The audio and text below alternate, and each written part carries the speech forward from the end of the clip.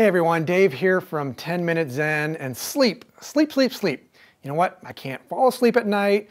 When I'm tired, when I'm not tired, you know, it doesn't matter. I can't fall asleep. So you lay there, you look at the clock, you get upset because you have to get up in a few hours, you know, you drink this, you read that, you flip around so your head is where your feet normally are, and so on, and you know what? Nothing works. But what I'm about to share in this video, it will. Okay, I'm gonna show you a special breathing exercise that you can do in bed. It's quiet, you won't wake anyone up, and no one will even know that you're doing it, and you'll actually forget that you're doing it because you'll likely fall asleep while you're doing it. So here it goes. What you wanna do, when you breathe in, you're gonna make a sound in your head, and when breathing out, you're going to make a different sound in your head. Now, whether you breathe in through your nose or your mouth or both, you know what? It makes no difference. And the sound you're going to make in your head, not out loud, will be sa and om. Uh-oh, you know what? Is this some mystical hippie stuff? Absolutely not. The sounds are actually white noise, which is a constant noise that naturally relaxes human beings. And it just so happens that in the English language, vowels create white noise. A, E, I, O. You get the idea.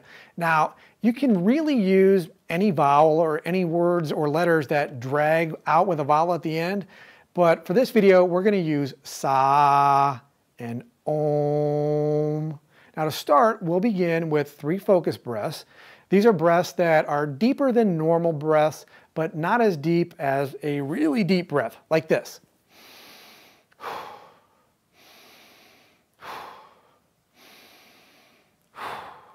Okay?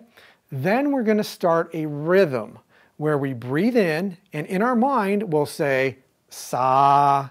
And when we breathe out, again, in our mind only, we're going to say om. What's important here is the rhythm, that the rhythm is constant. So it's going to go like this.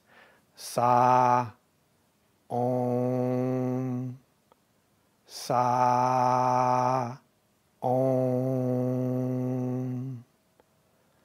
sa, om,